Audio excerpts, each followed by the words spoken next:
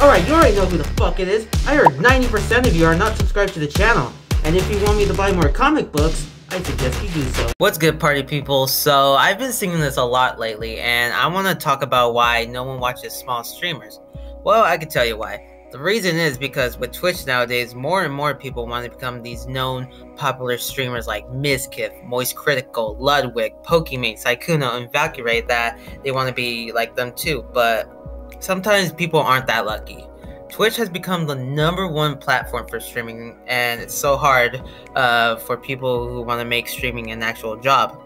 Like, for example, you go on Twitch, you feel like watching some Elden Ring or Valorant, or even just, just something simple as just chatting. So you click on the category, you find the hundreds and possibly thousands of channels uh, on, on that category, but you're not gonna scroll all the way down to the depths of just chatting just to watch someone with one view one viewer. It would be just uh, a waste of time for them because they would have found uh, someone already like someone to watch already.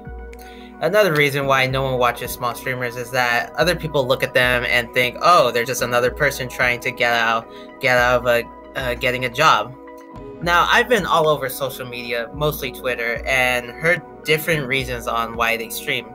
Some say I just do I just do it for fun or I just do it cuz it's my dream. well, well, you're going to fit right in then. Everybody on Twitch and YouTube says it's their dream, and I get that it's your dream to become a streamer, but li- literally everyone has said the exact same thing. Here's a tip for small streamers.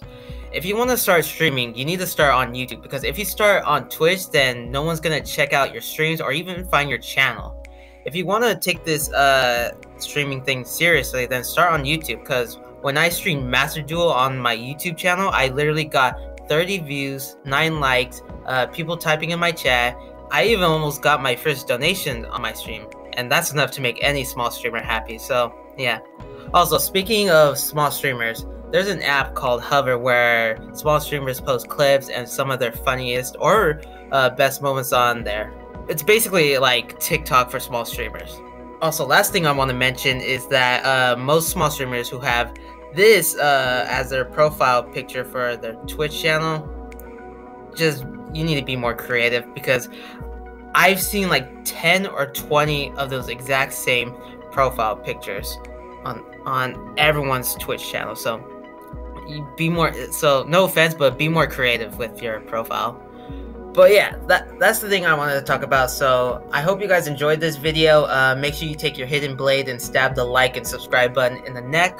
Also, if you want to get notified whenever I upload or live stream, make sure you stab the notification bell in the neck. And yeah, I'll see you guys in the next one. Jesus Christ, what is that? What is that? I don't know. Alan, Alan, grab it. Grab it. I'm not gonna grab that. Grab it now. Grab You grab Grab it. it. Get it down.